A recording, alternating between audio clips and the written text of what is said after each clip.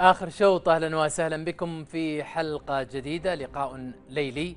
في كل مساء نلتقيكم من التاسعة والنصف حتى الحادية عشرة مساء في فقرات متنوعة. بدايتنا بالعناوين. بسم الله الرحمن الرحيم. أربع مواجهات في كأس الملك. غدا.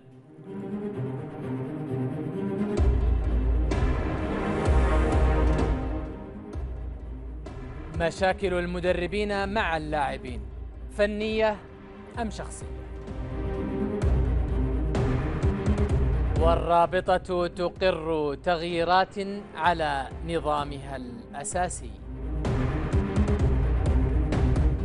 أهلا وسهلا بكم في حلقة جديدة من آخر شوط لقاءات كأس الملك غدا. إن شاء الله تستأنف بلقاء الدور الثمانية. الأربعة الكبار في مواجهات تبدو في ظاهرها سهلة أمام فرق الرائد المجزل الحزم والعروبة. التقرير الأول للقاء الرائد والأهلي والمجزل والهلال. نتابع.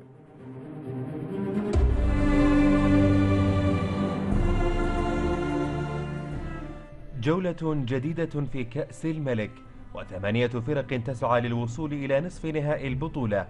ظروف متفاوتة تجمع رائد التحدي بالأهلي.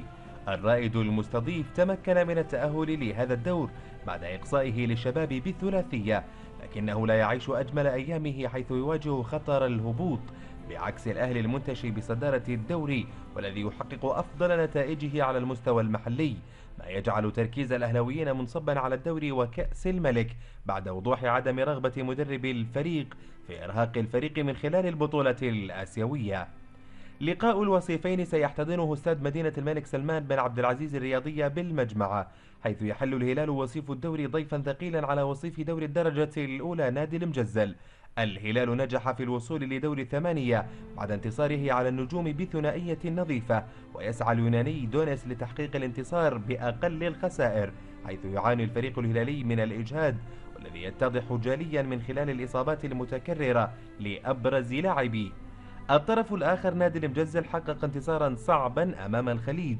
مكنه من الوصول لهذا الدور ويسعى بالإضافة إلى منافسته الشرسة في خطف إحدى البطاقات التأهل لدور جميل بأن يحقق المفاجأة ويخطف بطاقة التأهل.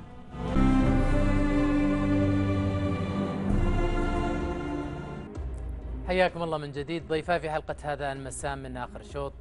كل من الكابتن حمود السلوى والزميل ناصر الغربي. حياكم الله أهلا وسهلا بكم. حياك الله يا أهلا وسهلا. أبو رشيد يعطيك العافية الحمد لله على السلامة. شكرا جزيلا دكتور وأنا حقيقه شاكر كرام الدعوة إن شاء الله نقدم أنا والزميل ناصر حلقة مثرية إن شاء الله. الله يحييكم. ناصر مسيك بالخير. مسيك بالنور. شكرا على وجود أبو رشيد الشخص المحبوب المحبوب الكل حبيب يعني الرياضيين نعم. أبو رشيد شو نقول عن مباريات بكرة؟ خلينا نبدأ بالرائد والهلال والمجزل ولا دكتور اللافت إنه إحنا عفوا الرائد والأهلي والمجزل لا. شوف اللافت في, في, في المرحلة هذه في كأس الملك انه ثمان انديه من دوري اندية زين من دوري الجميل برا يعني. تخيل في حنونة تجد نادي من الدرجة الثانية وناديين من الدرجة الأولى يعني. هذا لافت يعني. انت قبل قليل كنت تتحدث حتى عن عن أو التقرير كان يتحدث عن الرائد اللي مهدد بالهبوط الآن حيلعب. لكن تحديدا أبى أتكلم دكتور عن الأهلي والهلال اللي سيتقابلون مرتين سواء في الدور هذا في كأس الملك أو حتى يتقابلون في في في الجولة 24 في في, في حال تجاوز. وأنت أيوة. تتوقع أن محطات سهلة؟ لا لا كابتن؟ لا هي هي فيها حظوظ الفريق. أي. لأنه أبى أتكلم عن كأس الملك. في حظوظ إنه أنت متاح لك فرصة إنه أنت تمثل في دوري أبطال آسيا كونك بطل يعني كأس الملك يعني. اي إيه إلى جانب في يعني حتى فيما لو أنت وفقت مثلا وحققت أتحدث تحديدا عن الأهلي يعني. يعني الأهلي والهلال حظوظهم قوية. يعني في كأس في في في في في دوري أبطال آسيا في حال حقق أحد منهم كأس الملك. لكن هنا حتكون الفرصة ضيقة لابد وأن واحد من الاثنين هذولا. طبعا أنا أتكلم في حال إنه مثلا الأهلي كسب الرائد والهلال كسب المجزل يعني. إيه, إيه. ف طيب لعل الفارق كابتن ما بين هالمباراتين والمباراتين الثانية للاتحاد والنصر أمام الحزم والعروبة إنه اولا من ناحية الطموح في الحصول على كأس الملك يمكن أعلى. بالنسبة للفريقين الاتحاد والنصر كون إنهم يقدمون موسم للنسيان نعم نعم. وتعويض جماهيرهم هام في في هذا الشأن. اثنين التشتيت اللي جاي من منافسة الدوري بعيدين عنه. الاتحاد والنصر يمكن الاتحاد مر بجولتين ثلاث دخلها المعادله ذي نعم. معادلة إنك تنافس على الدوري. الآن تقريبا أبتعد.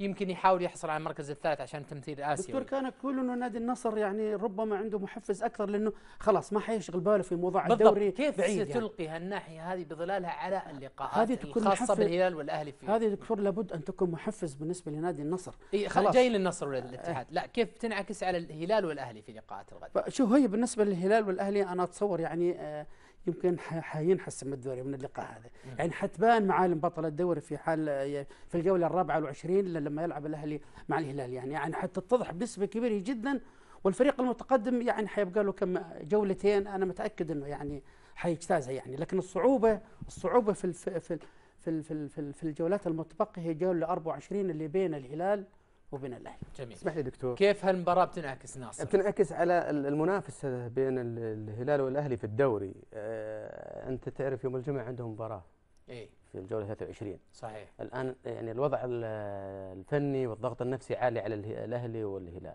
لكن بيقابلون هجر ونجران. حتى وإن هذه هذه الإشكالية يعني نجران مهدد بالهبوط هجر تقريبا منتهي. بالنسبة للأهلي ممكن مباراة أسهل من الهلال صحيح. نجران لكن الآن الرائد آه، يمكن آه، ياخذ المباراة هذه تحضيرا لمواجهة الأهلي في نهاية الدوري أو في الجولة 25 تقريبا. آه، وبالتالي قد يجرب مدرب الرائد بعض المنهجية والفنون التكتيكية مع الأهلي تحضير للمباراة. شاهدنا مباراة الوحدة والاتحاد في كأس الملك. كان الوحدة ليس المنافس القوي للاتحاد لكن يوم جاء الدوري استطاع أن يفوز على الاتحاد. صحيح. وتحدث مدرب الوحدة إنه استغل مباراة الكأس إلى قراءة المنافس. وتطبيق بعض الجمل التكتيكية أو بعض المهام للاعبين قد يستخدم الرائد نفس الطريقة بحيث إنه يلعب مع الأهلي إن حصل هي مباراة كاس خروج مغلوب ومباراة على أرضك. إن حصل وكسبت الأهلي فهذا كريدت لك كويس. لكن إن لم تستطيع فقد يستفيد منها لمباراة الدوري. في المقابل الهلال الآن في معضله تحضير اللاعبين وجهوزيتهم عندهم مباراة مع نجران يوم الجمعة عندهم مباراة مع تراكتور في كأس آه، دوري أبطال آسيا وتنقلات ما بين نعم الدوحة إيه. وجدة ثم وبريدة ثم مواجهة الأهلي بعد ذلك في جدة كل هذه الضغوط قد تربك الأهلي أمام مجزل، مجزل يعني خلق مفاجآت كبيرة، أنا أعتقد أكثر فريقين سيعانون مباراة الغد هم الأهلي والهلال. جميل. آه، فيما يخص المواجهتين الثانيات. جاي لها طيب. لها إن شاء الله. آه كابتن يمكن الرائد نتابعه في دوري عبد اللطيف جميل ومكشوف يعني مو بذاك الفريق اللي بعيد. وحتى مباريات دوري الدرجة الأولى منقولة لحد ما لكنها بعيدة عن الأضواء. وش الأسلحة اللي ممكن يفاجئ فيها المجزل الهلال غدا؟ والله أتصور يعني لن يكون عليه ضغوط نادي الهلال لأنه م. طبعا الم... بل يعني فارق النقاط الثلاث تيجي مباراة مثلا. لا, لا لكن لكن يعني وضع الهلال في الكاس غير وضعه في الدوري يعني. مم. يمكن أنا قلت في بدء الكلام إنه الآن الخيارات مطروح إنه يكونون أبطال كوس ولا ولا أبطال دوري بالنسبة للأهلي وبالنسبة للهلال. خصوصا في في في المجموعة اللي على اليمين اللي مجموعة غير المجموعة اللي هي مجموعة الاتحاد والفرق الأخرى. لكن متأكد تماما انه إنه حيكون عليه ضغوط وخصوصا من اللاعبين الأقل خبرة. اللاعبين الأقل خبرة حيكون عليهم ضغوط أكثر يعني لكن اللاعبين المتمرسين حتى في الناديين يعني عندهم سلاح الثقة وعندهم جروس ودونيس توقع يلعبون بأوراقهم الأساسية يعني بمباريات يعني جروس يا دكتور حتى في بطولة الأندية الآسيوية تلاحظ إنه يمكن ما عنده الاهتمام ببطولة بس يمكن الأندية الآسيوية. التأهل أصلا صعب. نعم. يعني من قبل حتى المباراة الأخيرة اللي طيب لعب فيها نعم. بالصف الثاني إيه سبع لاعبين إيه أصلا كان التأهل صعب, صعب. نعم. لا شوفوا الآن لا أنت بتوصل لل semi final. فهل تتوقع أنه يختلف تعامله مع كأس الملك عن تعامله اي طبيعي. إن كان على مستوى العناصر لا بالتأكيد يا دكتور. إن كان على مستوى العناصر أو حتى على مستوى اسلوب وطريقة اللعب إن كان على مستوى موقعه حتى في المنافسة يعني. فبالتأكيد حيكون له حسابات أخرى وهي حسابات فنية أكثر من أن تكون حسابات معنوية أو جماهيرية أو إعلامية. هي حسابات فنية داخل الملعب يعني. يمكن جروس من اللاعبين اللي يقبل دائما بالحد الأدنى من النتائج وبالتالي يلعب بطريقه يعني جروس يلعب في في المباراة في أكثر من طريقة وأكثر من أسلوب بسبب المتغيرات اللي تصير داخل المباراة. أنت متقدم هو متقدم متأخر باقي على المباراة ربع ساعة سجل مثلا في النصف الأول من الشوط. هذه هذه هذه تعكس لك عقلية مدرب محترف كيف يتعامل مع المباريات وكيف يديرها من خارج الملعب وفق خبرته وتجربته في في الملعب. بالنسبة للهلال برضو فرصة لدونيس بأنه في عناصر بالنسبة له كانت مصابة. صحيح فممكن إنه يدخلها. الاجواء على أساس يحضرها للمباريات القادمة نعم. خصوصا بعد انقطاع طويل صحيح ومر. بأزمة إصابات كثير. خاصة إدواردو وديجاو ممكن يعني يكون حضورهم بشكل جيد أيضا سالم الدوسري آه، في كلام على ناصر الشمراني قد نعم. يكون يعني حسب الاجتماع الأخير لإدارة النادي مع اللاعب والمدرب محاولة آه، لملمة الأمور بينهم ووجاد آه، نقطة تفاهم بين الطرفين قد تكون هذه كل الأمور. قد تكون مباراة مجزل آه، عربون آه، تصالح للهلاليين آه، جهاز فني ولاعبين وإدارة وجماهير. وبالتالي قد يستطيع. لكن إشكالية دونس إن أحيانا ي- لا يدخل المباراه بشكل جيد كتكتيك أو كتحضير لاعبين. لا يتعامل مع مجريات المباراة بشكل جيد. مقروء يرتكب- أحيانا إلى حد كبير نعم إيه، ويحت- يرتكب أخطاء فنية. يعني تشوف. مباراة الشباب يعني سحب عبده عطيف عبد الله عبد الله. عطيف آه، الله يذكر عبده بالخير. نعم. كلهم إخوان. آه، أثر على الفريق وعطل عاد يقول مصاب. يعني إيه، سبب تكلم- تكلم هو الإصابة يعني صحيح هذا تكلم. وهذه. إشكالية. طيب أنت ما عندك إلا هو محور وسعود موقف كريري.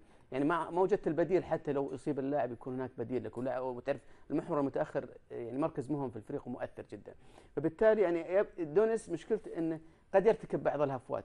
ما شاهدناه في المجزل في مسابقة كأس الملك إنه يعتمد على الت- التقفيل الخلفي ومباغتة الخصم بهجمة مرتدة كرة سريعة. قد ينجح فيها مع الهلال. إذا تذكر مباراة ال- الحمادة والهلال قبل تقريبا موسمين آه، في كأس الملك واجه الهلال صعوبة في آه، تجاوز ما أدري حجم الملعب هل هو لا، لا، أصغر ولا نفس لا لا لا نفس الملعب؟ ملعب مدينة- هل هو لأنه بعض لا، الملاعب المجمع- ترى تفرط بعض لا. المدربين. لا لا تكون ضمن الحجم أو المساحة القانونية لكن فيها تفاوت.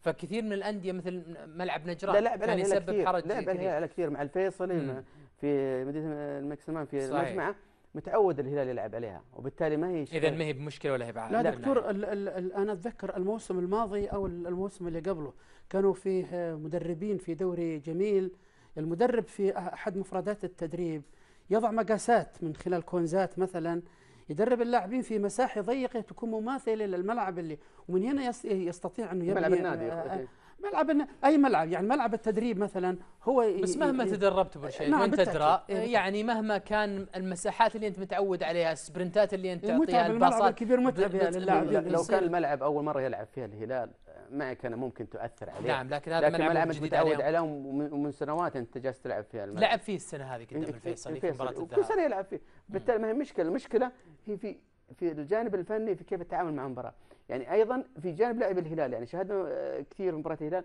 تف- تضيع فرص بكم كبير يعني في المباراة وبالتالي لاعب الهلال صعب عليهم المباراة. يجب على اللاعبين والجهاز الفني أن يحسموا المباراة بشكل مبكر.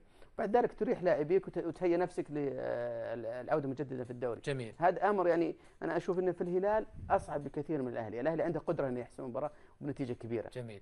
كابتن من سنين ما عاد شفنا ذاك الحضور اللي النادي ما نبقى صغير لكن أقل من الأندية الكبيرة يوصل للفاينل زي ما شفنا مع الطائي في سنة من السنوات وزي ما شفنا مع التعاون في سنة نعم. من السنوات وغيرها. هذه هذه انقطعت من سنين طويلة إننا نشوف نادي مفاجئ يفاجئك وهذه حلاوات حلاوة مباريات. كأس الملك إنه يطلع لك فريق في كل العالم بالمناسبة صحيح. ما عاد شفناها وش السبب فيها؟ دكتور شوف أول شيء ترى ال- ال- ال- اللاعب الأجنبي يصنع فارق فني كبير جدا يعني. خلينا نضرب آخر مثال آه انجوس هو مدرب نادي نجران الأخير. يعني النادي نجران جابوا مدرب جديد وجابوا أربع لاعبين صنعوا فارق فني يختلف تماما عن اللي المرحلة شفناه اللي في الدور كانت تسبق يعني. هذا سبب. والسبب الآخر إنه ال- ال- ال- البطولات كثيرة يا أبو يا دكتور يعني كأس ملك دوري كأس ولي عهد مشاركات أندية في بطولات آه، آسيوية الاتحاد العربي لكرة القدم قادم أيضا لبطولات أخرى. ففي بطولة حمل. في حمل تدريبي كبير في حمل بدني كبير على اللاعبين. يعني حتى يمكن تشوف أنت في المراحل الأخيرة من الموسم إنه ما يسمى بالتدوير يعني تجد كنا نتكلم عن مدرب الهلال أو حتى مدربين آخرين. يعني مو مو قناعة بالمستوى الفني اللي ممكن يقدي لكن مكره أخاك لا بطل يعني. هو يدفع بلاعبين أما موقوفين وإلا مصابين يعني. أحيانا مدرب مد... لاعب أو لاعبين اثنين مؤثرين الدكتور يعني يخربطون حتى أسلوب وطريقة وعمل المدرب. أنت تعرف من موسمين تقريبا نص لاعبي الهلال ما أخذوا 20 يوم إجازة. تخيلت ال- الضغط يعني مشاركة في. مشاركه في دوري أبطال آسيا يستمر معك في توقف الدوري السعودي الآن يستمر معك دوري أبطال آسيا. وتدخل في تحضير له بعد تجاوز دور 16 تحضير الدور الثمانية. ثم تدخل في مراحل النهائيه لدوري أبطال آسيا وتدخل في الدوري السعودي وبداية الدوري السعودي وتستمر معك الدوري السعودي مسابقه السعودية إلى نهاية الموسم وتستمر أنت في دوري أبطال آسيا. هذا الدوامة يعيش فيها الهلال يمكن أكثر الأندية يعيش فيها من تقريبا ثلاث مواسم. نعم فبالتالي أنت كلاعب تجهد الإصابات ترى الخبراء الفنيين المتابعين للهلال تحدثوا إن الهلال في هذه المرحلة سيصير عندك كيرف نازل يصير عنده إصابات كثيرة. المشكلة إنه الكيرف يجي في وقت الحسم. الحسم طيب قبل ما نطلع هنا مهاره هنا مهارة هنا ذكاء المدرب في واللاعبين المؤثرين وللأسف اللاعبين اللاعب الحسم أو اللاعب الفردي اللي يصنع معك فارق معدوم في الأندية السعودية. طيب الآن نطلع الفاصل بس قبل ما أطلع أتوقع مفاجأة بكرة في هالمباراتين دي كابتن حمود؟ لا ما أتوقع يعني. ناصر؟ ما أتوقع مفاجأة. يعني هلال وأهلي أتوقع محسنين ممكن في صعوبة ممكن يعني قد تكون مباراة صعبة لكن اي رجعت شوف دكتور لا لا لا. هونتوا اعطيته كل شيء اعطيته شيء الاحتياط دكتور اسمح الكورة الكوره مدور تراهن عليه إيه. إلا نتائج كرة القدم. بصراحة. يعني في يعني. مفاجأة وش نسبة المفاجأة؟ خلينا نقول يلا بالطريقة. أنا بالنسبة لي غير وارد المفاجاه بصراحة يعني لا ولكن ناصر. أنا أقول 30 70 يعني 70 للهلال والأهلي 30 للنجران للرايد ترى مو يعني تقليل يا دكتور من من من إمكانية الفريق الآخر لكن أنا أقيس على تاريخ على الإمكانيات على الأداء على الخبرة إيه؟ الاهلي والهلال السنة هذه لكن ممكن, ممكن تحدث المفاجأة. صحيح. يعني آه، آه، انشغال الضغط النفسي اللي يعيش فيه الفريقين في الدوري خاصة والتنافس قد يؤثر على اللاعب يعني خطأ لاعب أحيانا يؤثر. الكرة دكتور بس قبل ما تطلع فاصل يعني يعني أي متابع أي خبير لو يقول لك الآن حتى إنه نادي النصر الآن في المرحلة في الدوري في المركز الثامن ما تصدق. قبل سنتين بطل الدوري. بطل موسمين يعني. تتخيل مركز نادي النصر الثامن. وغريب. ونفس العناصر اللي كانت موجودة العام. نعم. نطلع الفاصل بعد ان شاء الله نتكلم عن النصر والاتحاد في آه، أيضا لقاءات إمام العروبة والحزم. خلوكم معنا.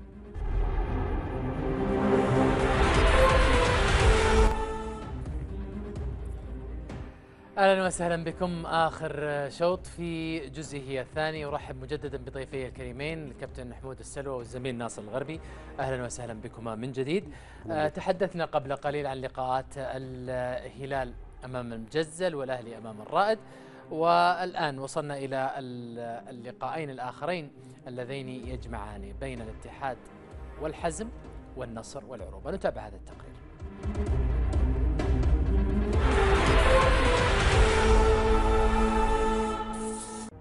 في مواجهة الطموح وآمال إثبات الوجود في هذا الموسم يلتقي العروبة القادم من منافسات دوري الدرجة الأولى بضيفه النصر الذي يتعلق بالأمل الأخير لإنقاذ موسمه بتحقيق بطولة الملك. ويواجه الاتحاد الباحث عن مصالحة جماهيره ضيفه الحزم المتعثر في منافسات دوري الدرجة الأولى ويسعى لتحقيق المفاجأة. النصر وصل لهذا الدور بعد تجاوزه للشعلة. وتمكن من بلوغ الدور ربع النهائي ليفصل بينه وبين النهائي مباراة واحدة فقط إذا فاز في مواجهة العروبة. العروبة هو الآخر وصل إلى هذا الدور بعد منافسة مع غريمه في دور الدرجة الأولى نادي الجيل وتمكن من التغلب على أرضه بهدفين نظيفين. ليواجه خصما ليس بالسهل في هذا الدور يسعى لتحقيق مفاجأة أمامه. في المباراة الأخرى يأمل الاتحاد مواصلة انتصاراته في هذه البطولة وهو الذي واجه فريقا من دور المحترفين في الدور السابق وهو الوحدة ولم يكن بالند السهل للاتحاديين واستطاع الاتحاد التغلب عليه بصعوبة بهدفين مقابل لا شيء. أما الحزم فهو يبحث عن إنجاز يختتم فيه موسمه حيث يبتعد كثيرا عن المنافسة في دور الأولى واستطاع الوصول إلى هذا الدور بعد مباراة مثيرة أمام الباطن. امتدت بعد التعادل الإيجابي حتى ضربات الترجيح وتفوق فيها الحزم بخمس ضربات مقابل ثلاثة وضاعته في مواجهة الاتحاد. يسجل الحزم يتأهل حمد المنصور! ألف مبروك للحزم! مواجهة المفاجآت التي تحمل قراءة على الورق تختلف كثيرا عن الواقع وكلنا نترقب.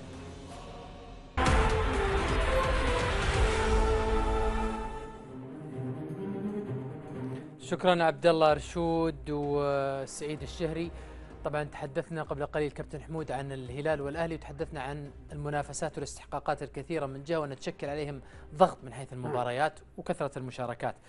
النصر والاتحاد في المقابل قد آه، يعني تكون مسألة المنافسة على الدوري أقل بالنسبة لهم وإن كان ما زال هناك أمل تحديدا للنصر في دوري أبطال آسيا لكن المطالبه الجماهيرية بإنقاذ الموسم بهالبطولة كبيرة وبالتالي المسؤولية أكبر يمكن عن النصر والاتحاد أكثر منها من الهلال الاتحاد مو بعيد يا دكتور بالنسبة للدوري.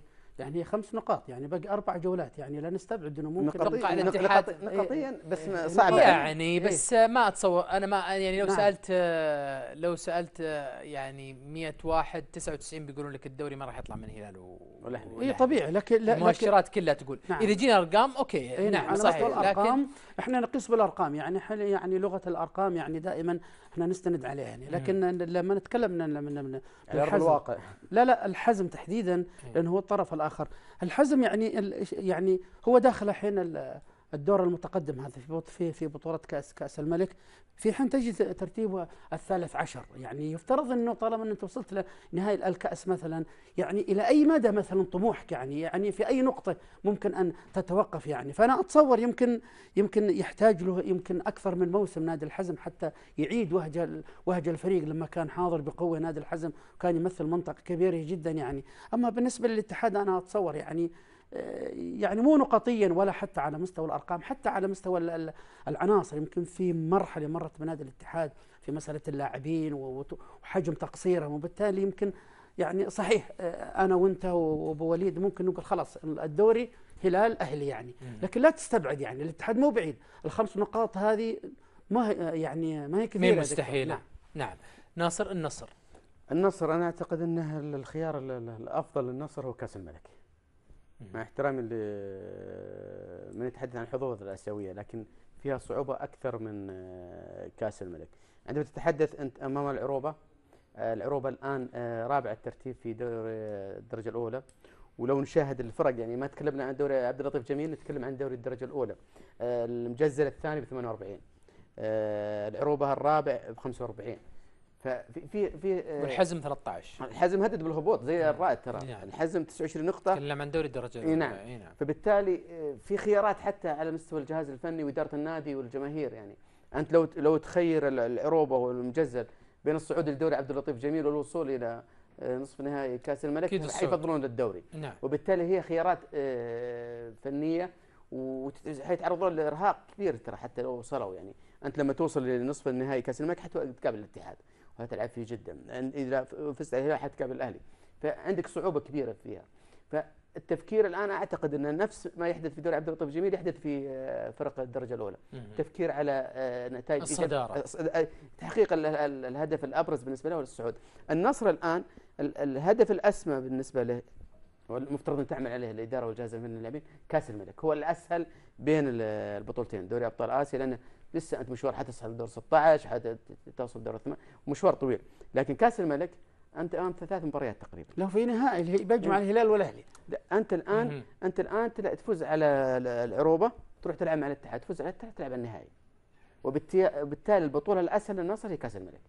يجب على إدارة النادي والجهاز الفني واللاعبين وهي ختام الموسم وعادة ختام إيه. الموسم يغسل كل شيء. أيوه. يعني العام الهلال أنقذ موسمه بكأس الملك نعم. وكان موسم مثالي يعتبر وانطلق وانطلق بعد نعم صحيح. وبالتالي قد تكون هذه الفرصة ما حدث العام الماضي عودة للوقوف على. قدميه بالنسبة للنصر. يجب أن النصراويين يعملوا على هذا الأمر. بالإضافة إنهم قد يستغلون إن العروبه مشتت. يدخل المباراة وهم تفكيرهم آه، هل سنستطيع نفكر في الذهاب بعيد في كأس الملك ولا يكون تركيزنا في دوري الدرجة الأولى والوصول إلى المركز الثالث أو الثاني والتأهل إلى دوري عبد اللطيف؟ جميل أعتقد هذه الأمور تخدم النصر أكثر من العروبه يجب عليهم التركيز في هذا الجانب. الاتحاد آه، الحزم يعني ما أعتقد إنه حيستطيع أن يسوي شيء قدام الاتحاد لا سيما إن الاتحاد الآن يبحثون عن مصالحه جماهيرهم يبحثون عن إثبات آه، نفسهم آه، تعويض أخفاقهم آه، في الدوري. ودوري أبطال آسيا الذي يعني قلت حظوظهم كثيرا فيه. فبالتالي أعتقد أنه أسهل لل- للنصر والاتحاد من مواجهة ال- يعني ممكن نشوف الاربع كبار في الدور نصف نهائي لا بس كلاسيكوين على مستوى كبير وممكن نشوف ممكن. نشوف ديربي في النهائي. دكتور ما حتشوف الأهلي والهلال لانهم حيلتقون قبل لا نصف النهائي أتكلم عن نصف نهائي كاس final. لا بس ال semi- أتكلم النهائي ممكن يكون نعم. في ديربي في النهائي. قد يكون ديربي ال semi final. في كلاسيكو نعم والنهائي قد يكون ديربي وقد يكون كلا- كلاسيكو كلاسيكو، نعم. آه، كابتن العامل المشترك ما بين النصر والاتحاد هو العودة على مدربين قدامى أتحدث عن بيتوركا وعن كانيدا هل أحدث هذان المدربان الفارق المأمول بعد العودة؟ هل كانت هي الخيارات الأمثل بالنسبة للعودة؟ لا قد لا تكون ومدرب لما يقال وانت ترجع ترجعه بعدها بفترة آه كيف بيأدي؟ كيف بتكون ثقة اللاعبين فيه؟ وكيف وكيف وش تد- وكيف هو يقبل؟ واساسا أنت كيف أق... ليش أقلته إذا كنت لا ولا هو كيف يقبل يعني؟ بالضبط. يعني أما أن يكون مدرب يعني حتى لا نقول عاطل يعني جاء آه،. آه، أيوه لأنه آه، وبعدين حتى يعني حتى لما يكون عاطل ما هي عيب. يمكن تيجي فترة من فترات المدربين هو يطلب راحة يعني مثلا. لا وانت وأنت إذا أقلت في وسط الموسم عادة التعاقدات تكون في فترة الصيف. لا دكتور ف- أنت تتكلم عن يعني صعوبة إنك تروح المدرب انت ابعدته من البداية يعني نعم إيه إيه هنا نعم. الصعوبة لكن في قناعات أخرى عند يعني بعض مجالس إدارات الأندية مثلا إنه والله المدرب هذا هو على الأقل يبغى يختصر لنا ثلاثة ارباع هل المشوار. صار الشيء هذا؟ هل أنا- كانت أنا خيارات أنا- صحيحة بالعودة لهم؟ هذا لا شوف. أنا شايفه حصل مع الاتحاد أكثر مما حصل في النصر يعني يمكن يم- يمكن حتى بيتورك الأول اللي كان تيجي عليه الكاميرات وهو آه نايم على مقاعد الاحتياط مقيل يعني بصراحة يعني في حين إنه هم التعليمات هذه يعني مع العقد الجديد يعني يمكن نبهوا قالوا له اجتمعوا معه مثلا نبهوا لأمور يعني تحسن بتوركا اللي كان في المرحلة الأولى عن المرحلة الثانية، لكن أحيانا اللاعبين ماجد أحيانا ما يساعدونك أحيانا، اللاعبين أنت تكون ثقتك كبيرة تمنحهم الثقة. أحيانا اللاعبين أنفسهم يأخذونك يعني، كان على مستوى العطاء، على مستوى الالتزام، على مستوى الانضباط، آه، أنا أتصور يمكن حتى يمكن حالات استثنائية تحصل هذه، مش بالضروره كل مدرب حيكون بتوركا ومش كل مدرب يكون حد يعني زي مدرب نادي النصر يعني. طيب آه، كنيدا أنت ذكرت إنه ظهرت مع بيتوركا أفضل كان إيه، إيه، التأثير بس- أفضل.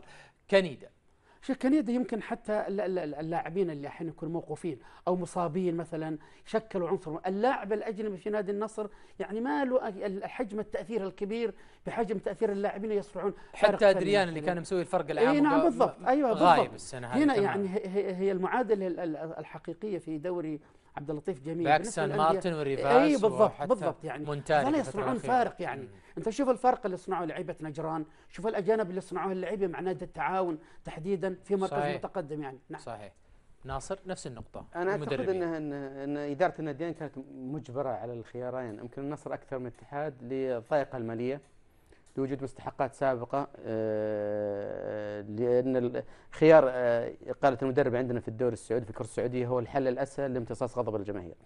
فبالتالي يعني آه، الفشل اللي واجه مدرب الاتحاد الروماني السابق أعتقد بولوني نعم. كان إشكالية. آه، الإيطالي كانافارو مع النصر أيضا كان جلبوه لإنعاش الفريق و- وإعادة الروح له ولم يحقق هذا الأمر. فبالتالي أنت أمام خيارين يا يعني أن الإدارة تستقيل أو تقيل المدرب وهذا عهدناه في الرياضة السعودية وهذا أحد أسباب تدهور الكرة طب السعودية. وين المشكلة؟ إذا صاروا اللاعبين هم اللاعبين والمدرب يروح ويرجع عليه وأكثر من مدرب تولوا المهمة ولا أنقذوا شيء. يعني إحنا نتكلم عن ثلاثة مدربين النصر في هذا الموسم. وين المشكلة؟ المشكلة أنه لا يمكن أنت يعني في فترة بسيطة كرة القدم لعبة جماعية وليست يعني لعبة فردية ممكن الشخص يعني تجلس معه وتعالج. هي معتمدة على ثلاث محاور رئيسية إدارة مدرب لاعبين آه للاسف يعني كنيدا فترته الاولى مع النصر لم يكن موفق يعني وكان حديث اداره النصر انه رحل أو اقالته بسبب مطالبه اللاعبين نعم فانت الان تعيده آه، بنفس الاشكاليات بنفس ال- ال- الاضرار الاتحاد نفس المشكلة يعني يمكن آه، بتورك اول ما جاء آه، كان اعاد الف- الفريق نوعا ما لكن لضعف الامكانيات في اللاعبين خذلته ما استطاع ان يستمر مع الفريق بنفس الم- ممكن حتى صرامته ال- ال- القويه ودخول الإدارة مع اللاعبين. يمكن قبل مباراة الأهلي كان هناك آه، إشكاليات مع اللاعبين بعد العودة من معسكر جبل علي. وكان آه، متفقين إنهم يطلعون اللاعبين اللي آه، فترة حرة لأهلهم ثم يعودوا المعسكر. أخلفوا الاتفاق وأصروا على استمرار المعسكر في النادي. كل هذه الأمور تخلق أزمات مع ال- ال- المدرب واللاعبين وبالتالي لا يستطيع اللاعبين أن يقدموا أو قد لا ينفذوا ما يطلبه المدرب. وبالتالي يدفع الفريق في, في الثمن نقطة بس آه، استكمال كلام أبو الوليد. يا دكتور إنه إحنا دائما نتكلم عن من اللي يصنع الفارق الفني، نقول اللاعب المحلي، اللاعب الأجنبي، رئيس النادي، الجماهير، الإعلام، إحنا متناسين الجانب الإداري اللي تكلم عنه بالوليد يعني. الجانب الإداري أنا اقيسه في ناديين في الأهلي وفي النصر. شوف حجم التأثير اللي اللي, اللي حصل والنقله اللي حصلت بعد عودة طارق كيال وشوف شوف التراجع اللي حصل بعد بعد خروج سالم العثمان مدير الفريق أو المشرف العام على كرة القدم من نادي النصر. هل يعني مدير الكرة له المفعول هذا؟ إيه للدرجة هذه؟ إيه إيه نعم. اولا في يعني في إنه يقدر ينتشر فريق طايح إيه ممكن. ويحبط فريق إحنا ترى لا لا, لا, لا, لا, لا, لا الجانب المعنوي له له جانب بس أنا ما ودي نضخم حجم الدور اللي يقوم فيه مدير الكرة. أنا متأكد إنه دور. لا التحول هذه ما فيها كلام. التحول لكن ما ودنا بعد إننا نقول والله هذا الرجل هو اللي اعاد الفريق وغياب هذا الرجل هو اللي أدى إنهيار الفريق. الفريق النصراوي منهار قبل روحة سلمان سالم العثمان. والفريق الأهلاوي كان مؤدي أداء ممتاز من بداية الموسم بدون طارق كيال ومر مرحلة أزمة تمر في أي نادي بعد خسارة بطولة أمام المنافس المباشر. هي الازمه القليله هي الأزمة هذه كان في صراع كان في صراع بين كروس واللاعبين. ما في شك. لدرجه لدرجه, ناصر لدرجة انهم انه كان في حديث في الجانب الاهلاوي إن اقاله كروس بعد مباراة الفريق الأوزبكي أنا أجزم إنهم لهم دور. لا لا لا لا لا أفهم غلط. أنا أجزم إنهم لهم دور. ما في شك يعني نعم. أكيد إنهم لهم دور فعال. لكن أنا ما ودي إنه هالدور هذا يعطى أكبر من حجمه. لأنه في الأخير الأدوات اللي في الملعب دكتور. أدواتك اللي يعني في الملعب. تقول دكتور مو بحجم تأثير اللاعب أو المدرب. بالضبط. إيه نعم. إذا صار اللاعب في الغياب النصر أنا أشوف إنه اللي فرق معاه اللاعبين داخلين محبطين واللاعبين الأجانب أدائهم سيء. والمدرب والمدرب أيضا فرق مع النصر. يعني دي سيلفا كان التحضير سيء في بداية الموسم الدخول التحضير لكن دي سيلفا هذا ترى جاي معهم يعني كانافارو اللي كان موجود وش عمل يا دكتور؟ هذا هذا خطأ إداري. هذا هذا هذا خطأ إداري. هذا خطأ إداري. يعني الرجل أساسا أساسا كان له تجربتين كمساعد مدرب في الأهلي الإماراتي. و وفي جوانزو الصيني كان مدير فني. نعم. وأقيل في ما كمل مع جونزو ثلاث أربع شهور تقريبا نفس تجربة وبالتالي النصر. وبالتالي أنت كإدارة تخطئ وتجيب مدرب أنا ما نختلف في أخطاء إدارة. لكن العامل الإداري كمدير كرة عامل انضباطي وعامل حلقة وصل بين الجهاز الفني واللاعبين. يعني أحيانا يكون هناك شدة مثلا المدرب أو صدام معين مع المدرب الاداري الشخص اللي يقرب وجهته الاداري الاداري الذكي والاداري القوي. هو من من من يلم أنا المجموعه أنا أؤمن تماما زي ما قلت لك ناصر الدور كبير جدا لكن ما ودنا نعطيه يعني أكبر من حجمه. آه، كابتن آه، الحزم والعروبة. يعني قد يخفون على كثير من المتابعين وقد يخفون. ما شفناهم إلا في مباريات يمكن كأس الملك وفي الدوري الدرجة الأولى. هل في عوامل قد تشكل مفاجأة بالنسبة للنصر أو الاتحاد على التوالي؟ والله يا دكتور شوف أنا دائما حتى كل ما طلعت في, في أي مكان أقول كل شيء تستطيع تراهن عليه إلا نتائج كرة القدم. لكن لما نتحدث عن العروبي ولا في عناصر يفرقون أنت تابع اي بلا شك اي أنا أتابع دوري الدرجة الأولى في الحزم أو حتى في العروبي عناصر جيدة جدا ممتازة. حتى اميز الخطوط في الفريقين؟ يعني خصوصا مناطق الدفاع. شوف الأندية هذه مثلا تبغى تضمن البقاء وتبي تضمن وجوده في في في مستوى التصنيف هذا مثلا أطول موسم ممكن. فلهذا المدربين مثلا تجد ميولهم مو اسلوبهم حتى باختيار اللاعبين. يختارون اللاعبين الأجانب أو المواليد إنه يركزون على إنه خصوصا فكر المدربين وأنا أحترمه بصراحة فكر المدربين التوانسه يفكر إنه ما يخسر قبل ما يفكر إنه يفوز. يعني هو ما يفكر إنه يفوز لا. يفكر إنه ما يخسر يعني. وهذا سبب نجاحهم آه، ترى؟ اي كثير. أنا أشوف على أرض الواقع يعني طيلة المواسم هذا سجل هدف وقفل من حتى منتصف الشوط الأول يعني. تلقى يلعب باسلوب دفاعي البدلاء مدافعين ويسحب المباراة يسحب المباراة إلى أن تصل إن جت معك كان بها وما نعم. جت معك ما أنت ما أنت مطالب نعم. بشيء في. يعني أنت أصلا متقدم يعني حتى لو تعادلت خير وبركة. صحيح. هذا قلت لي بتلعب بتلعب الفرق بطريقة دفاعية وهجمة مرتدة. ما راح ما راح تهاجم الفرق مع احترام للمجزل والحزم والعروبة وحتى الرائد. ما راح تفتح المباراه من بدايتها. مباراة الكاس تعتمد على أخطاء بسيطة واستثمارها. حتقفل حتلعب الهجمة المرتده ان نجحوا في استثمار أي هجمة حيتعبوا الفرق الكبار. في المقابل العكس الفرق الكبيرة مطالبة إنها تخلص المباراة من بدري حتى ما تدخل في إرهاق اللاعبين والضغط النفسي وخلافه والضغط البدني بعد. البدني إيه، نعم. نعم لأنه في الأخير لو سجل فيك هدف حتبذل مجهود أكبر من اللاعبين وكل ما انضغطت زود كل ما صار التوافق العصبي العضلي عندك بعد يصير فيه إشكاليات وبالتالي لا حتى تسأل الدكتور تقول الآن كيف وصلوا المجزل؟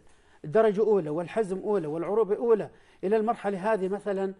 في حين تجد مثلا حتى موقعهم في في في في دوري الدرجة الأولى يعني القرعه ترى لا لا امجاز لا لا امجاز لا شوف طريقهم امجاز امجاز. اللعب مع التعاون أول مباراة له. أي. والتعاون آه، يمكن الحصان الأسود هذا الموسم صحيح. قدم مستويات كبيرة وحتى يقاتل على المركز الرابع. هي هذه المفاجاه الوحيدة لكن زين. كل الباقيين وصلوا بدرب آه، بسيط. أنا. محتاج إني أنهي المحور. هل في مفاجآت في اللقاءين هذه؟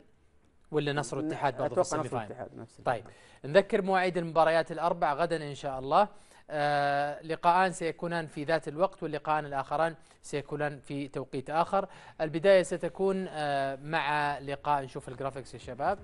آه الرائد بالأهلي في آه بريدة.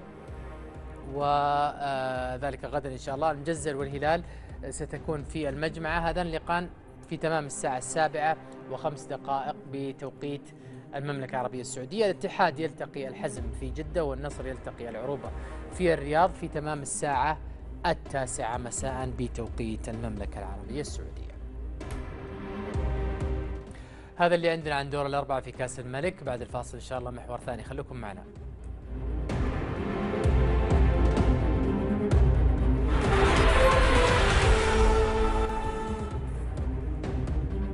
آخر شوط أهلا وسهلا بكم من جديد. قبل الفاصل كنت آه، قلت أنه دور الأربعة هو دور الثمانية بأربع لقاءات منتظر فيها حسب الترشيحات أن يصل فيها الأربعة الكبار ولكن كرة القدم لا أمان لها. وصلنا إلى محور جديد ورحب من جديد بضيفي الكريمين كابتن حمود السلوى والزميل ناصر الغربي. أهلا وسهلا بكما من جديد. محورنا القادم عن ما يحدث بين المدربين وبعض اللاعبين. هل هي خلافات شخصية؟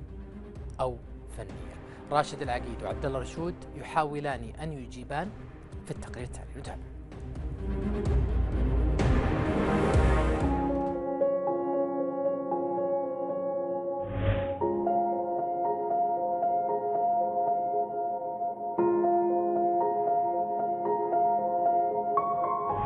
نعم هم نجوم. يصنعون الفارق. بأقدامهم تحصد النقاط. صيحات الجماهير تناديهم حتى أصبحوا كالأساطير في أرض الملعب. نعم هؤلاء أيضا نجوم. بخططهم يحسم اللقاء ويأتي التتويج. العلاقة بين النجم والمدرب معادلة سهلة. كلما اتزن طرفيها كانت نتيجتها الفوز وحصد البطولات وأي خلل قد تكون نتائجه فادحة. تنعكس سلبيا على الطرفين. لم تعد كرة القدم كما كانت في السابق تعتمد بشكل أساسي على إمكانيات اللاعب وقدراته فحسب فهي الآن لعبة جماعية كالجسد الواحد. فإذا لم يقم عضو من هذا الجسد بدوره تداعت باقي الأطراف فالتوازن أساس ومطلب للوصول إلى الهدف المطلوب. مشاهد كثيرة لم تغب عن أذهاننا لخلافات بين نجوم ومدربين تأثر بها الفريق كاملا وغابت فيها نقاط الفوز كما حدث في آخر لقاء بين الهلال والشباب الذي جلس فيه نجم الفريق ناصر الشمراني في دكات الاحتياط لأسباب لم تجد لها الجماهير أي مبررات غير خسارة نقاط الفوز. عاقب ناصر الشمراني ناصر الشمراني كان ممكن يخلص لك المباراة اليوم. كان ممكن يخلص لك المباراة اليوم إلا؟ الحين أنا الحين أنا. أقعد. أعاقب لعيبة في حسم دوري. عاقبه بعدين. ما هي خسارة نقطتين أبد خسارة دوري كامل هذه. ولا ننسى لاعب الأهلي مصطفى بصاص الذي بدت عليه علامات الغضب واضحة بعد أن تم تبديله في لقاء فريقه أمام الفيصلي. والحدث الأبرز بينها ما حدث لنجم الاتحاد محمد نور عندما حاول مصافحة مدرب الفريق الذي رفض أن يمد يده. تكثر الأمثلة ويبقى الخلاف قائما.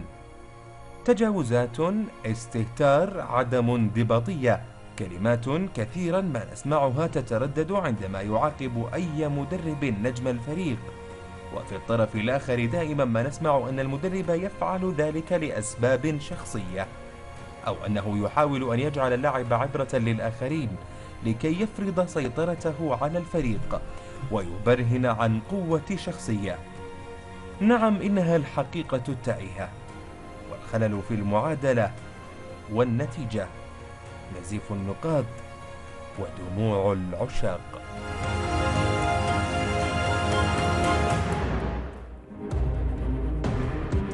راشد وعبد الله. بس نقطة واحدة إنه ناصر الشمراني في الفترة الماضية حتى ولا كان في دكة البدلاء والموضوع مو موجه لناصر الشمراني. وإن كان فعلا أحد الأسماء الكبيرة اللي تنطبق عليهم القاعدة الآن في خلاف مدرب مع لاعب هو ناصر الشمراني دونيس ما في شك. لكن إحنا نناقشها كقضية إجمالية عالمية مو بس عندنا في السعودية آه، في العالم كله. بعض اللاعبين ما يتحمل دكة البدلاء. بعض اللاعبين لازم يلعب كل مباراة ما يتحملها نهائيا. في لاعبين حتى وهم نجوم ممكن يجسك على دكة البدلاء يعني ما عنده مشكلة. ما عنده مشكلة ويرجع لك لو بعد 20 مباراة هو هو صاحبك اللي ممكن تشد فيها الظهر. في لاعبين دكة البدلاء تقضي عليهم تماما.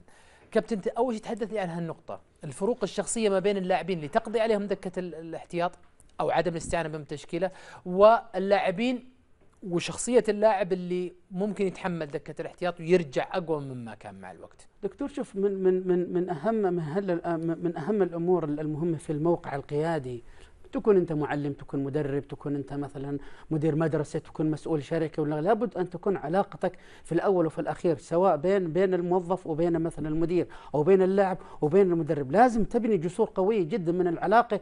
ليش؟ حتى حتى ال- ال- اللاعب هذا ايا كان سواء كان محلي ولا أجنبي مو بس يخلص للنادي ويخلص للفن لا يخلص لك أنت كمدرب لأنه أنت تعاملت معه. فلا بد أن يكون علاقات إنسانية تربط اللاعب بالمدرب يعني. في المقابل أنا أنا أنا أنا لا أعفي يمكن كما جاء في التقارير اللي كتبوها الزملاء إنه تجد لاعب غير منضبط، لاعب مستهتر، لاعب ما يعطي داخل الملعب، فامر طبيعي أنه تكون عنده ردة فعل المدرب، يعني أنا أشوف دينوس مرتين حتى الأسبوعين اللي مضن هذه حتى يسألون الصحفيين عن عن عن, عن نصر الشمراني ولا عنده استعداد حتى يجيب سيرة نصر الشمراني، في المؤتمر الصحفي ما جاب سيرة نصر الشمراني، فالدور هذا لابد أن يلعبه أنا لا أحمله.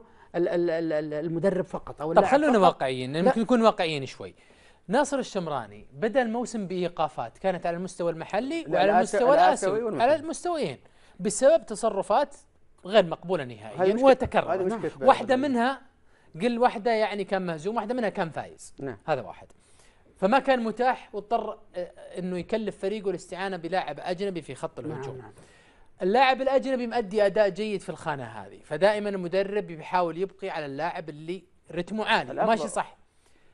نزل الرتم عند ألميدا أشرك ناصر الشمراني. ما قدم. وأب لا أشرك وما قدم بعدين لما قدم لما قدم استمر في إشراكه. حتى بعد مباراة الأهلي مثلا في ال final في كثيرين قالوا إنه ليش ما أشرك؟ وكانت بسبب إصابة. فأتاح له الفرصة. فأنا كمتابع أنا أشوف إنه دونيس ما شخصن الأمر. الرجل صحيح. جاد في مسألة إنه عمل. اللي بيخدمني والجاهز هو اللي بيلعب. وهذا تكلم فيه. وأحيانا إنك تحتاج إنك كونك ما ترد على الموضوع لأنه خلاص استهلك. في كل مرة تحتاج إنه توصل رسالة.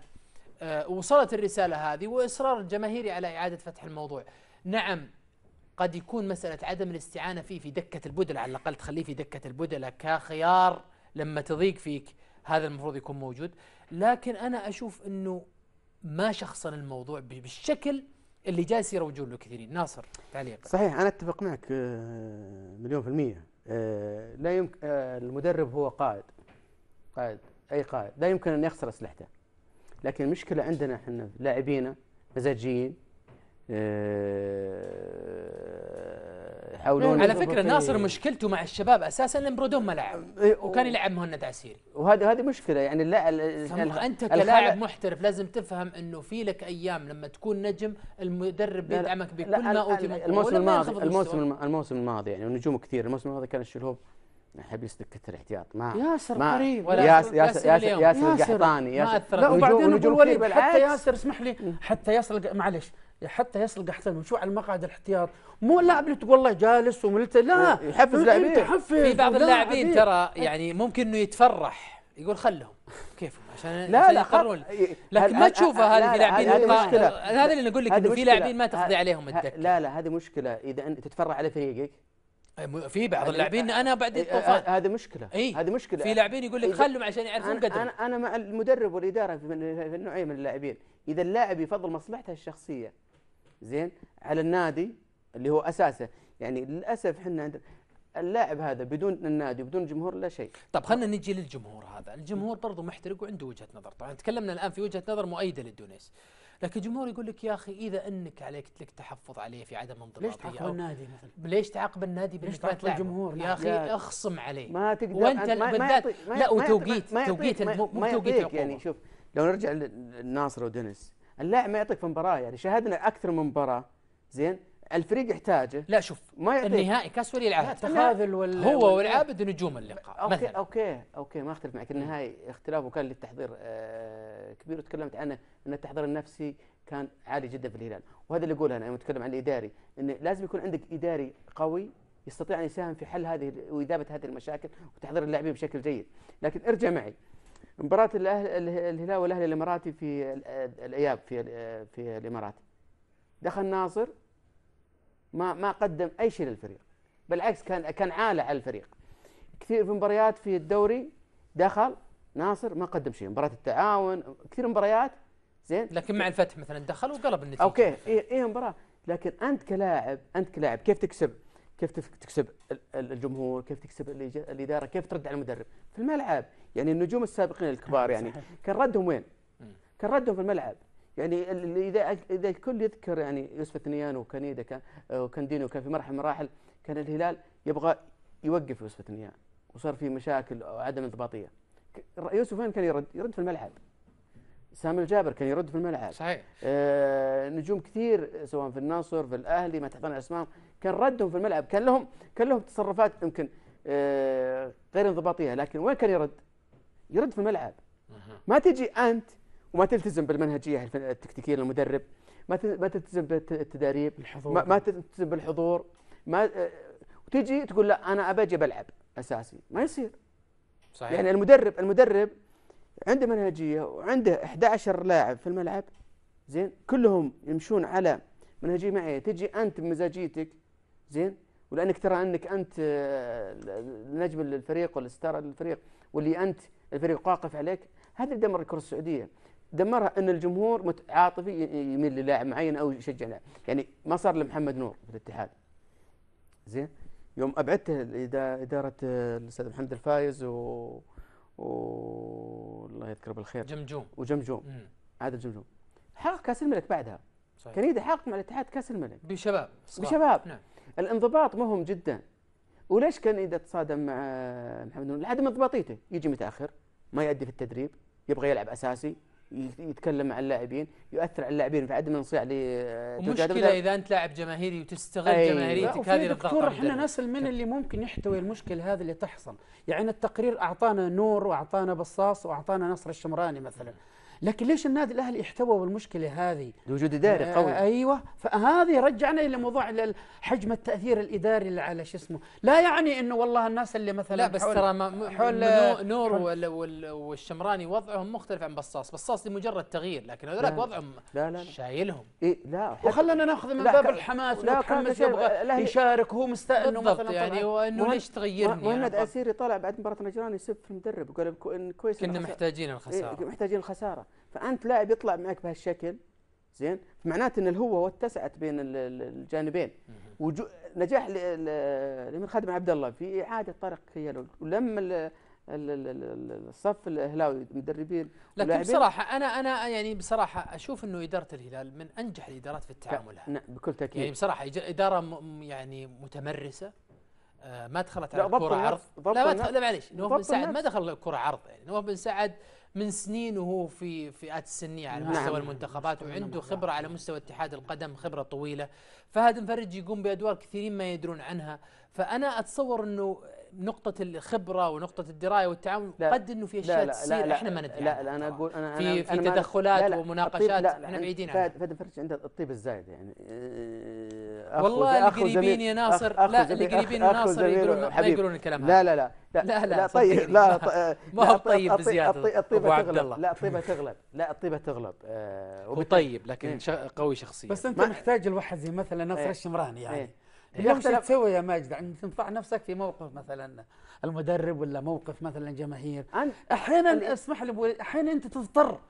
يعني انت تتنازل عن كثير من قناعاتك يعني تمسك ويبدو اليد. لا، لا، هو يذهب هو دينوس. يذهب إلى الجانب الفني إيه. والله لأسباب لأنه ما يقدر يقول لك أكثر من كذا يبغى يقول مسألة انضباطية وش مساله رأيك وش. الحل طيب أنت أنت أنت مدرب أنت المفروض تسأل هالسؤال والله بصراحة يعني على أقل تقدير أستعين بمدير الفريق إيه. برئيس النادي بالناس المؤثرين إنه يحتون الموقف. أنا كمدرب والله يا فلان تعال توسط له. لا لا لا ولكني ما لا أدري. ايجاد لا، ممكن ايجاد يعني رفع ايجاد الصدع يعني لا ايجاد. إيجاد نق- نقطة لقاء بين يعني. بين ال- الجانبين.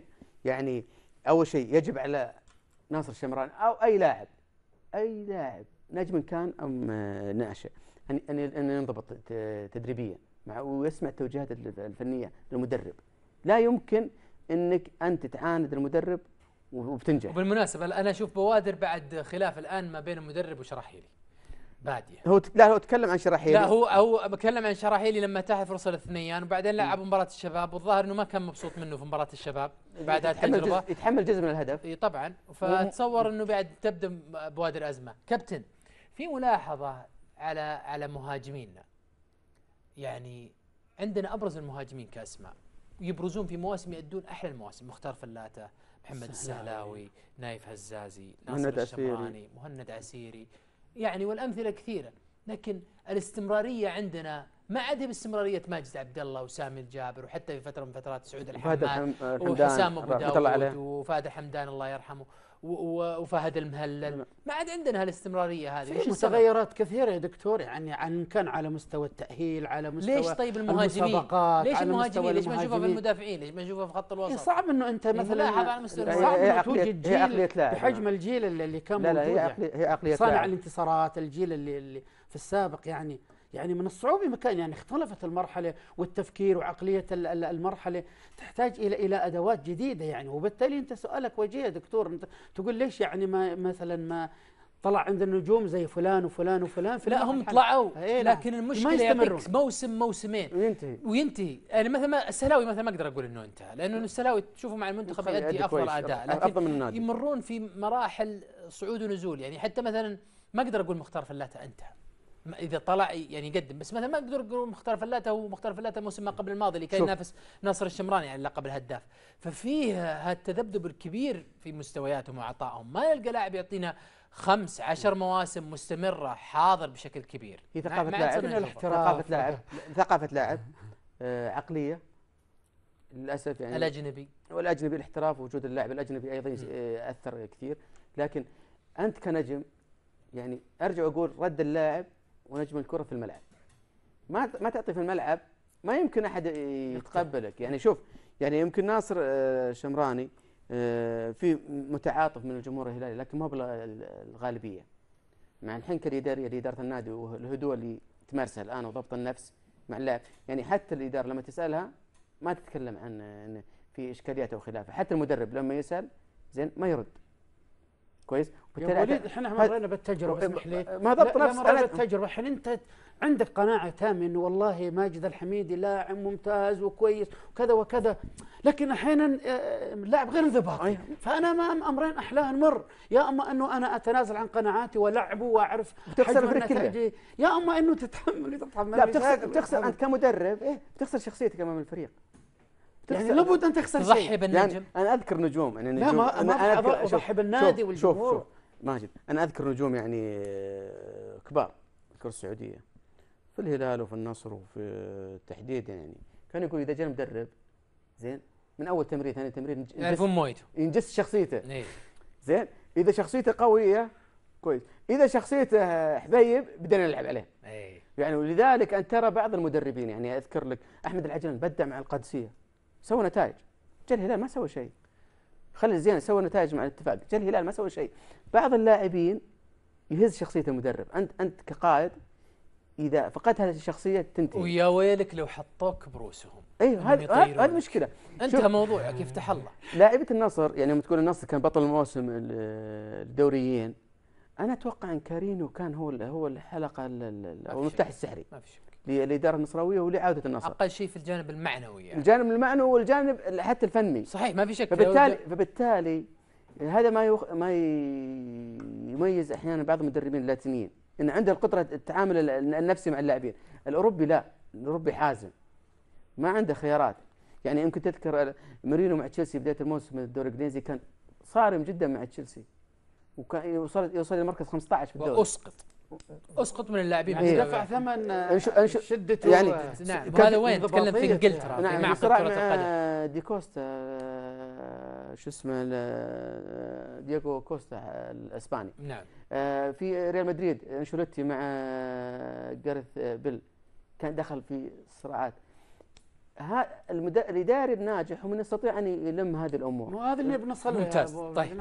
خلينا نطلع فاصل لا يجينا المخرج الحين. وجايني جايني الله يستر. طيب نطلع فاصل ولا يهمك عبد الاله وبعد راجع خليكم معنا.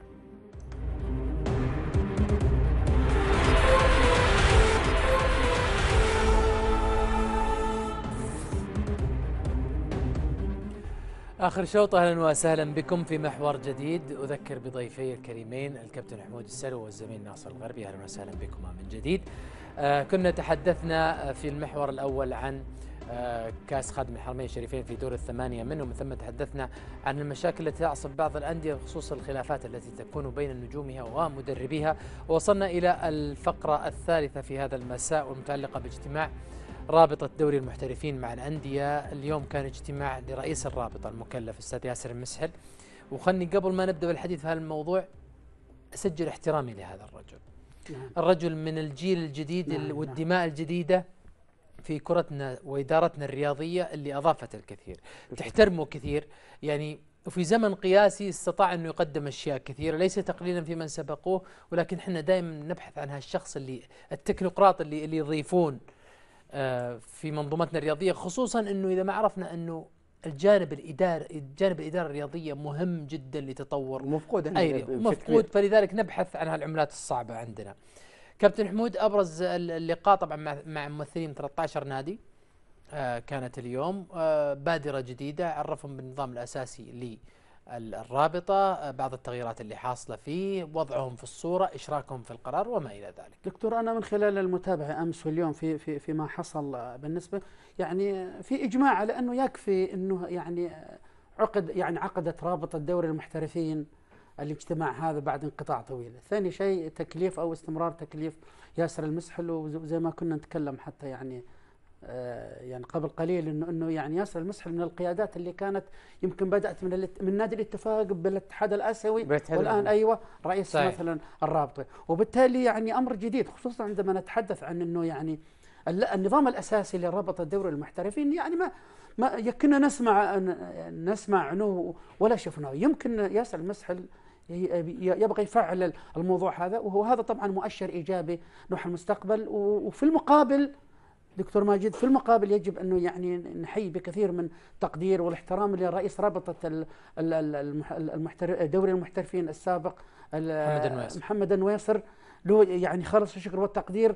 لكن المرحلة يمكن آه، كبيره جدا تتطلب أشياء كبيرة الدوري كبير جدا احتراف احتراف مثلا يعني قابل للتعديل يكفي بس في الاجتماع هذا إنهم اجتمعوا يعني الممثلين الأندية لا ويكفي هو, هو يعني محمد وضع محمد برضو الأساسي. من القدرات الإدارية لكن أحيانا أنت تصل إلى مرحلة تحس إنك خلاص تشبعت قد إنك تبحث عن طموح جديد وهذا اللي اتصور إنه حاصل مع محمد النويصر اللي ما أستبعد ابدا إنه يتقدم آه، كمرشح لرئاسة اتحاد القدم هو واعلن أعلن ذلك. فلذلك أحيانا أنت لما تستمر في منصب وفي مكان فترة طويلة تحتاج إنك تبعد لأنه خلاص ال ال الإبداع وال والحماس اللي أنت جاي فيه في البداية الفورة طيب خلاص خاف عندي سؤال. ويحسب- تتيحها يحسب- لشخص يحسب- قادم جديد يبي يثبت وجوده محمد النويصر انه من استقطب ياسر المسحل يعني كان. ياسر المسحل اي في نعم صحيح في الاتحاد الآسيوي على فكرة إحنا عشنا في فترة فيها فراغ قيادات يعني ما نعم. كان كنا نروح ونرجع على وجيه متكررة صحيح صحيح قدمت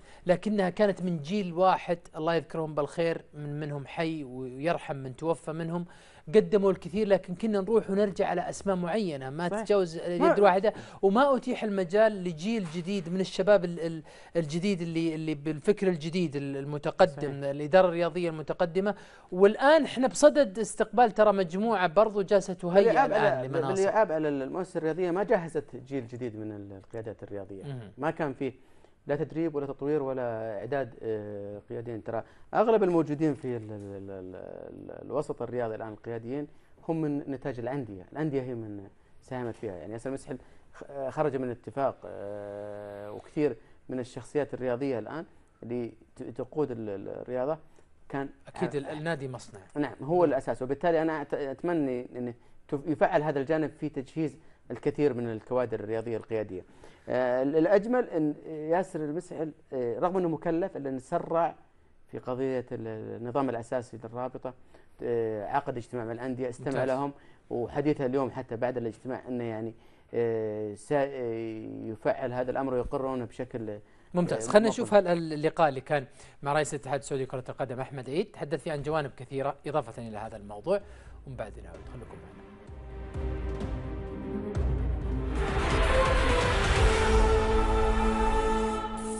أستاذ أحمد آه، يعني موضوع مهم جدا ويهم الكرة السعودية. فان مارفك مدرب منتخبنا السعودي لماذا آه، مجلس إدارة الاتحاد لكرة القدم يصر على التعاقد مع هذا المدرب بغض النظر عن عدم تواجد هذا المدرب في المملكة العربية السعودية؟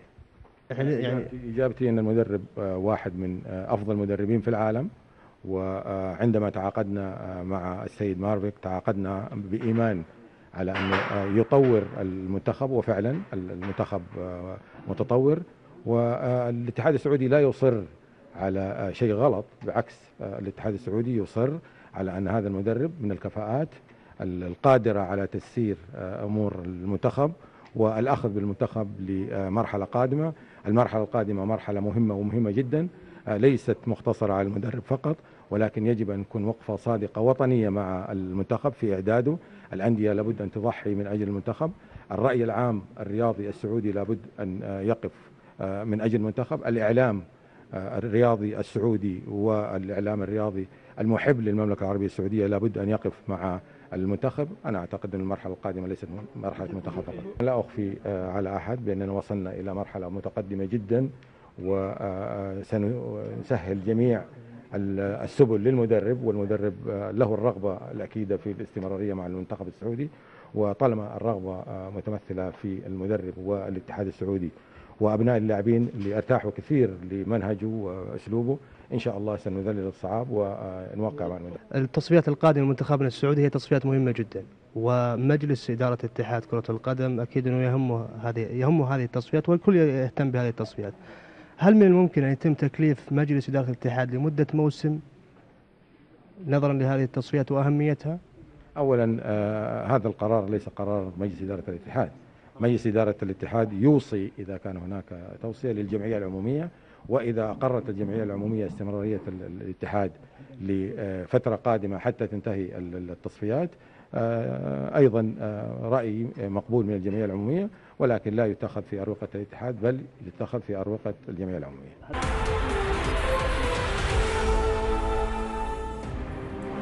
طيب شكرا ناصر الشيبان.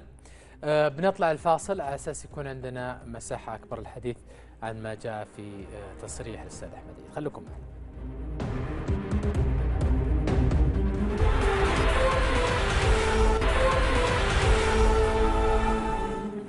أهلا وسهلا بكم من جديد. آخر شوط ضيفاي الكابتن حمود السر والزميل ناصر الغربي. أهلا وسهلا بكما تحدث قبل الفاصل في حوار كان للزميل ناصر الشيبان الأستاذ أحمد عيد عن أمور عدة.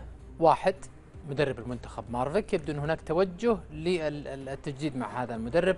كان في حديث الفترة الماضية تذكر كابتن عن مسألة أنه يستمر ولا ما يستمر؟ هل وإذا استمر هل يبقى كمحلل خارج المملكة؟ ولا المفروض أنه يتابع بعض الناس رأوا إنه ما هي فارقه يقدر يتابع أي مباراة من خارج عن, عن طريق التلفزيون عن طريق السيديات. وغيرها. السلام عليكم يا شباب. تراكم نعم. أشغلتوا العالم يعني قضايا. ترى مشاكل العالم. خلوكم محلكم. أهلا وسهلا أستاذ ناصر أستاذ حمود. هلا عبد العزيز. دكتور ماجد. حياك الله. أهلا وسهلا. مشاكل في دبي مشاكل. المفروض انك في مخصوص دبي. جيت مخصوص علشانك يا دكتور عشان هذه اللمة الحلوة. بصراحة موقف آه، محرج بالنسبة لي إنه أتكلم آه، عن هذا الموضوع أو أقدم هذا التقرير عن الدكتور ماجد آه، الحميدي. ولكن يعني آه، لازم يعني تصير في لحظات محرجة بالنسبة لك، أنا كنت أكثر الأشخاص سعداء بانضمام هذه الشخصية المميزة. ولكن دعوني أقدم لكم هذا التقرير اللي يبين الشخص اللي أنا تعلمت من خلاله الإعلام.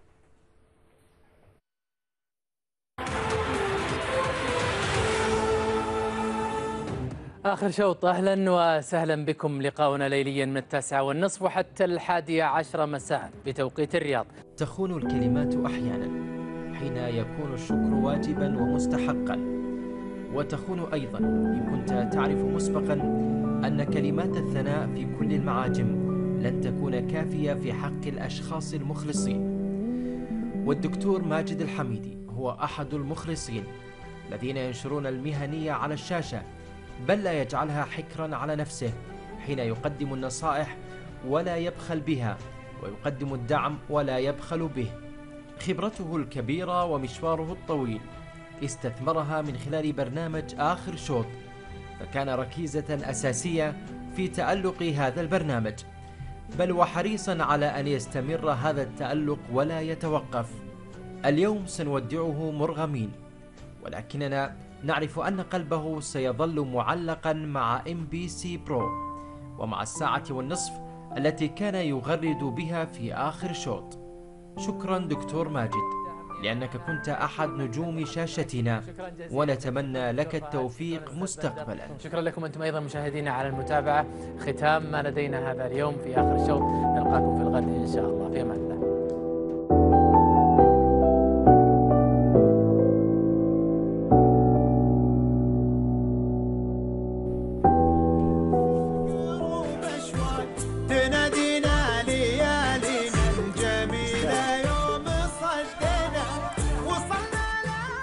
تقول يا دكتور؟ إحنا بصراحة أن فقيد يا أولا دكتور. أنا يعني أنا والله ما ما ما أقدر أتكلم يعني أساسا. اليوم آخر يوم آه، ست شهور مع ال MBC ويمكن كثيرين ما يدرون ما فيهم ضيوفي. بورشيد قبل شوي آه، ما أنا أنا يعني ما ما بلغت فيها أحد إنه اليوم آخر يوم بالنسبة لي تقديم آه، في Pro Center وبكرة إن شاء الله عندي استوديو تحليلي. هو بيكون آخر يوم لي مع MBC Pro Sports مضطر إني أطلع لظروف عمل آه، خاصة فيني آه، بتاخذ وقتي كامل بعيدا عن الإعلام وبعيدا في المجال الأكاديمي في الفترة القادمة ف إحنا بن- أنا ابدا ما. أتوقع عبد العزيز إيه. الله يعطيه العافية وأنت عبد العزيز عبد الله العضيبي هنا الشباب كلهم إحنا ودنا نقول. شغلة هذا كثير جدا هذه هذه طبعا مجموعة ال MBC بشكل عام وال MBC Pro Sports يعني هي آه، سعيدة جدا بالفترة اللي أنت قضيتها معنا وحنا أكثر أيضا سعادة بالمرحلة المقبلة لك لأنها مرحلة مهمة في حياتك. وحنا نفتخر كمجموعة إنه واحد من الأشخاص يتواجد في هذه الأماكن اللي إحنا نعتز فيها. وموجود معنا الأستاذ عبد العزيز التويجري المسؤول يعني الإعلام شو بيصير؟ قل لنا وهي أيضا بيصير يعني؟ لا لا إن شاء الله هي- بتشوف هي- مكان هي طيب مرحلة. يعني عمل بعيد نعم. يعني شوي عن المجال طبعا هذه الإعلامي. باسم آه، كل ال MBC Pro Sports باسم آه، الأستاذ وسام قطان. آه، جو إبراهيم. العنقري وأيضا عبد العزيز تويجري اللي هو يقدم لك الكلمات البسيطة دكتور إحنا ما نعتبرها وداع هذه إحنا نقول اللقاء يعني انت ونعم الاخ ونعم الزميل آه، كانت يعني فترة حقيقة سعدنا وتشرفنا بوجودك الله آه، يشرف مقدارك معنا فيها. آه، نتمنى لك التوفيق بكل تأكيد خلال الفترة المقبلة. وكسبنا أخ وكسبنا صديق. هذا الله يعطيك. والله. الواحد أحيانا من المواقف اللي. ما اللسان فيها ينعقد بس ما قليلة في حياته. أبو وليد آه، ت- يكون حضورنا معك هذه أحدها. أنا أنا- الحقيقة أنا كلامنا- الحقيقة أنا كلمني نايف. اي قال لا ابيك اليوم. قلت إيش في؟ قال في موضوع مهم لازم تكون موجود. إي. قلت خلها الخميس لأن أمس كنت ترى بالتسريبات. نايف يعني. قلت خلها الخميس قبل المباراه قال أنا لا. قلت- كلمني برشيد قال أنا وياك. فراح بالي قلت أكيد عشان أبو رشيد الموضوع. لا والله لا اليوم أنا اليوم آخر يوم لي في Pro Center. وفي محل. آخر شوط. أنا- يعني والبيت اللي أنا أنتمي له وسأظل أنتمي له يعني أزف البشرى إن البديل أحسن مني أنا واثق تماما. بديلي إن شاء الله عبد الله العضيبي. نعم إن شاء الله آه، اسم كبير كلكم متعودين عليه في الملعب وفي كمراسل لكن عبد الله من الأسماء اللي آه، كل القناة كل القائمين على القناة يراهنون عليها. آه، بداية بالاستاذ وسام قطان الأستاذ إبراهيم العنقري والأستاذ جو اللي أرفع لهم ال- القبعه على عملهم ال- ال- الاحترافي خلال الفترة الماضية. آه، أنا واثق أن عبد الله بيكون في هالمكان أحسن مني. ب مرة وبيقدم إن شاء الله ال- الشيء اللي يليق فيكم إن شاء الله. بتشوفون عبد الله بشكل جديد بالجرافة وبالاستديو بعيد عن الملعب بعيد عن عن جو الملعب. اي وقال لي هو مخلص قال ما تبيع لي إياها. اخذها أنا بقول كلمة. إذا تسمحون. يعني الدكتور يعني معرفتي من آه، معه من زمن يعني وتواصل بيننا دائم ونعم الأخ ونعم الصديق ونعم الأكاديمي الله يعافيك. والشخص المميز والوجه المشرق للإعلام السعودي. تسلم. آه، يشكر ل MBC Pro إنها استقطبت الطيور المهاجره أيضا. يعني آه، أنا بقول لك شغلة أنا تعلمت ألف باء إعلام من الله يعافيك يا عبد العزيز انت تحرجني دائما بالكلام هذا كبير. لا والله هذا. من حسن بالعكس ذاتك بالعكس وحتى لتوجيهات يعني أيام الإذاعة كان يعني بيني وبينه تواصل ويعني وكان لي يعني ماجد استفدنا منه كلنا بالعكس يعني. الله يعافيك يا ناصر. وما ما راح أتوقع إن ال MBC حتخسر. أنا أتمنى إنه يعود قريبا عاجل يعني. أنا يعني هالمجموعة هذه ما عدى إلا بيتي. أنا أنا أنا كملت فقط ستة أشهر هنا لسوء حظي. آه لكن والله كانها كأنها ست سنين على الأقل يعني. طبعا رجعت أعمل مع ناس سبق لي إني عملت معهم. وتعرفت على زملاء جدد أول مرة آه، يعني أعمل معهم. وكانت صراحة تجربة جدا جميلة كنت أتمناها تطول لكن عاد قدر الله ما شاء فعل. ظروف العمل ما كان جديد إنه عبد الله العظيمي يعني إنه حيطلع بلوك. صحيح. آه، صحيح. لا، عبد الله لا، العظيمي لا، لا، في مصدر في مصدر. مع ابو نور لنا يعني تجربة. عبد الله شيء. العظيمي صحيح. استديو. يقول عبد الله اشتغل على الدكتور لين طلع البرنامج. عبد الله فعلا اشتغل اشتغلت فعلا حتى أنا وياه سابقا في نعم، قناة نعم. سابقة قدم استوديو. يعني الناس عارفه عبد الله لكن عبد الله مرتبط ال- مرتبط الملعب ال- اللقاءات. ميدانية. ميدان. لكن بتشوفون عبد الله في الاستديو باجمل هذه بنقطعها إن شاء الله بعد ال- ال- الهواء إن شاء الله. باخذها فيها. معي يعني. تأخذها معك. العافية. أبو رشيد يعافيك. ناصر الله يعافيك والمجموعة الموجوده معك الله. هذا شيء قليل بحقك والتقدير. بالقلب و... جدا شاكر والله. إحنا فخورين فيك في المرحلة القادمة. وتفخر المجموعة بصراحة الله يعافيك شخصية مثلك موجودة في تسلم. المحل والثقة وانت يا تستاهل يا دكتور الله يعافيك عبد العزيز وما ودنا. نقول لك اللقاء أنت في المحل وفي القلب يا دكتور يعافيك شاء الله الله يعافيك عبد العزيز أنت. تعرف عاد شهادتي فيك مجروحة تعرف. قدرك الله يوفقك الله يوفق كل الزملاء آه وسام آه قطان شكرا جزيلا لك. إبراهيم العنقري شكرا جزيلا لك. جو شكرا جزيلا لكم. من أروع الأيام آه المثالية اللي أنا عشتها خلال الفترة الماضية. أتمنى لكم التوفيق وأنا جزء من هال من هالمنظومة إن شاء الله. يلا نودع من معك ودك تقول شيء للجمهور دكتور؟ أبد والله أنا من بحب الوداع.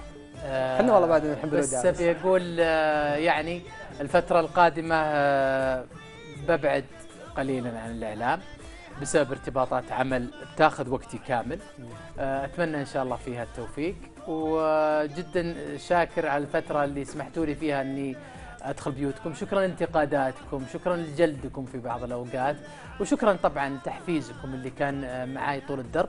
اتمنى إن شاء الله التوفيق للجميع إن شاء الله. بالتوفيق لك يا دكتور وإن شاء الله ال- المحطات القادمة كلها. بإزدهار وتقدم ورقي. بالنسبة لك وإن شاء الله في يوم الأربعاء بيكون معكم بإذن الله الزميل عبد الله العظيم اللي. نتمنى إنه يدخل يشاركنا تعال عبد الله يعني مو بجاهز بس لا يلا لابس الكاب والثوب يلا يلا تعال تعال مو؟ مشكلة تعال بعطيك اياه مشكلة، معي في. السيارة الحين أعطيك اياه. تعال يلا تعال بعطيك طبعا ما اياه عندك مشكلة. جايبها لك في السيارة الكلمة الكلمة الرفيق دربك بعد عبد الله العظيمي تفضل ابو نور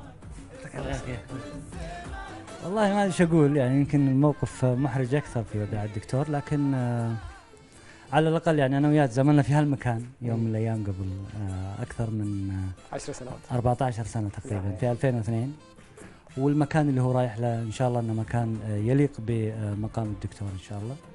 أتمنى له التوفيق إن شاء الله.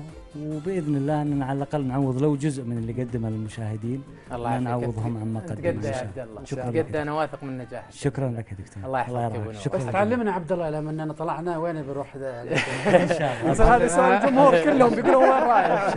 إن شاء الله. بالتوفيق الله يا يعطيكم دكتور العافية. وبالتوفيق لكم كمشاهدين. وإن شاء الله نشاهد معكم تغطيات قادمة من قنوات MBC Pro Sport أنا جزئيه بس أنا جميل في آه، Pro Sport يعني آه، سواء مع عادل الزهراني زميلنا العزيز. إي نعم. والآن دكتور ماجد. يعني لمسة الوفاء التقدير الوداع الجميل الوداع الأخوي صحيح. الحبي صحيح. ما نجدها في كثير من مؤسساتنا الإعلامية. يعني أنا أقول لك أنا ب- الزميل يطلع ويغادر المكان يعني ما حد يدري عنه بالعكس يمكن يثير آه، كثير من التساؤلات في الوسط الرياضي والشارع العام. صحيح. وين راح فلان؟ ليش طلع؟ وتطلع الاشاعات والكلام. صحيح. الشغل ال- ال- ال- الاخوي الجميل أعتقد تشكرون جميل. عليه يعني لا والله الوقت أخذنا ولا الكلام والمشاعر كبيرة للدكتور ودنا عاد نودع الله يعافيك و- ان شاء الله. طب إن شاء الله. تصريح أحمد عيد والنقاش. نشوف إن شاء الله. والله حبيبي يعني. نلقاكم إن شاء الله يوم الأربعاء في تغطية خاصة إن شاء الله من Pro آه، Sport مع زميلنا عبد الله العضيبي نلقاكم إن شاء الله على خير. والى اللقاء. تفضل يا دكتور. الله يعافيك. يعطيك العافيه